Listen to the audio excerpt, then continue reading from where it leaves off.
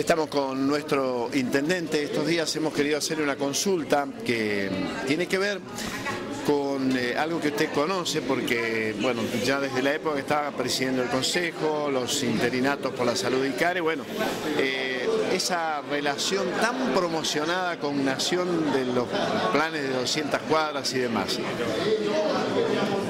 Sinceramente, con, el resultado electoral que se dio, ¿eso se cayó, se murió, está vigente?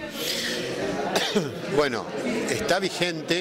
Eh, la pregunta, perdón Marcelo, eh, tiene que ver porque eh, a muchos les pareció que era fuertemente electoralista, que era un anuncio que se hacía y se prolongaba muchísimo en el tiempo.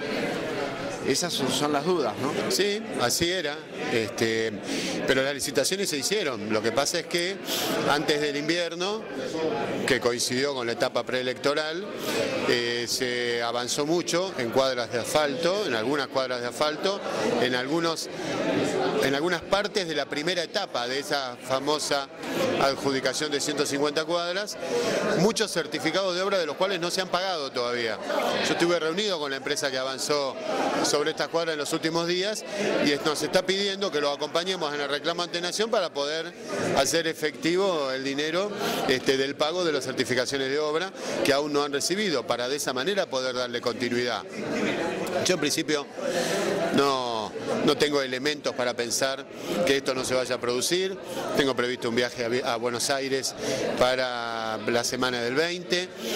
Entre las visitas que tengo previstas, obviamente está el área este, de obras públicas, a través de donde se financió este, estas licitaciones. No solamente vamos a pedir que se pague lo atrasado, sino que además se adjudiquen siguientes etapas que han sido licitadas y todavía no adjudicadas para que se pueda seguir dándole continuidad a este gran programa de asfalto que se anunció para Bariloche, que yo mismo desde el Consejo alguna vez lo aprobé y que está bastante, si bien iniciado, bastante demorado.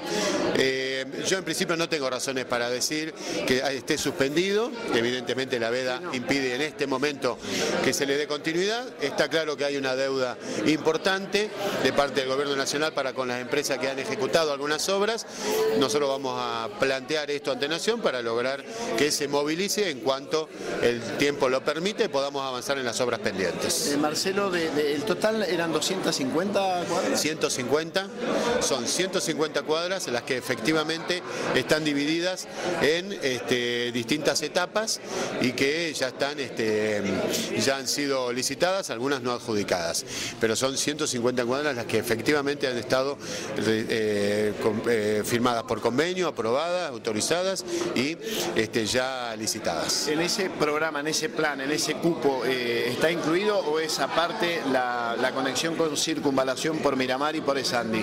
No, Miramar y Esandi ya es una obra adjudicada, está fuera de lo que tiene que ver con las 150 cuadras, es una obra ya adjudicada. Nosotros estamos avanzando fuertemente en un aspecto pendiente eh, de hace bastante tiempo, que es el deslinde que nos está requiriendo Vialidad Nacional para el ensanche de la avenida Esandi, pero en la medida que nosotros estamos resolviendo por estos días ese deslinde, eh, sobre los terrenos adyacentes, la obra estaría en condiciones de comenzar en el mes de septiembre. Así que Sandy ya es prácticamente un hecho en la medida que nosotros estamos avanzando en esta situación. Y lo mismo con Miramar y Widerhall, que ya han sido adjudicadas por parte de Vialidad Nacional. Estos son compromisos adicionales que tienen que ver con la conectividad de circunvalación con la ciudad, que vienen de antemano y que nosotros de alguna manera lo que estamos haciendo es movilizando en este momento, pero diferente de las 150 cuadras.